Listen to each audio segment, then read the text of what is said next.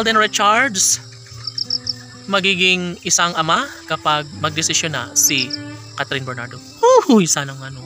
Dahil nga malungkot ang mga puso ng mga fans ng Cat Love Team, dapat lamang umano na magkaroon ng pagkakatagumpay ang binata sa kanyang pangarap na makapiling habang buhay ang uh, pretty girl na si Catherine. Hmm, syempre, hindi naman po pwede na basta na lang na magpatalo sa kabiguan ang binata. Dahil alam naman natin na talagang ipaglalaban niya hanggang dulo ang kanyang pag-ibig para sa actress. Alam niyo ba na sobrang mahal na mahal ni Catherine Bernardo ang gwapong aktor na si Alden. Kaya dito umano niya naramdaman na nararapat pala na ipagpapatuloy ni Alden Richards ang kanyang tunay na nararamdamang pagmamahal para sa dalaga. Syempre, kung sakali man na sila nga magkakatuluyan ni Alden at Catherine, wala nang mahihiling pa ang mga milyon-milyon ng mga tagahanga ni Alden at Catherine. Dahil alam niyo ba kung bakit?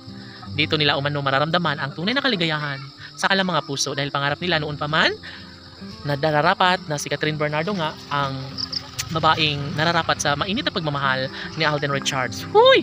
Of course, nagwo-worry man ang taong bayan sa mga pagkakataong ito, mararapat lamang na patunayan na lang nila ang lahat ng ito dahil sadyang kaligayahan sa puso ng dalaga at binata ang kung sakali man na may sakatuparan niya ang lahat ng kalang pagkakatuluyan ay laking tuwa sa mga puso ni Alden at Catherine at never na mababawasan no, ang kinang sa kalang relasyon. Uy, syempre, nararapat na pasiglahin at pasayahin ni Alden at Catherine ang kanilang milyon-milyon ng mga taga-subaybay dahil wala nang sinumang makakapigil pa sa kalang tunay na damdamin kung talagang si Alden ang nararapat sa pagmamahal ni Catherine, dapat na sana sa mas lalong madaling panahon ay kanila itong mapatunayan at ibahagi ang isang pag-ibig na siyang naghahari. No?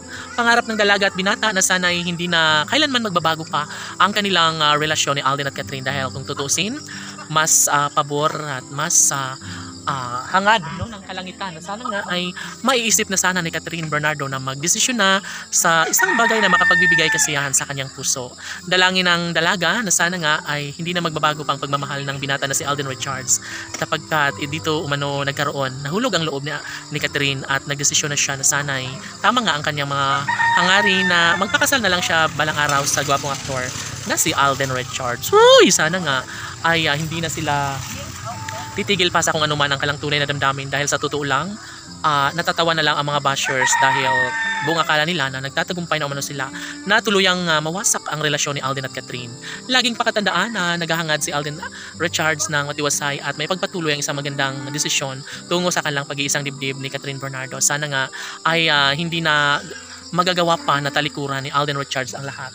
Naniniwala naman ang lahat sa mga desisyon ni Alden at Catherine dahil alam nila na si Alden Richards ay responsable, tunay na nagmamahal sa pretty girl na si Catherine Bernardo. Kaya sana'y wag nang sayangin pa ang pagmamahal ng tunay ni Alden at Catherine. Laban!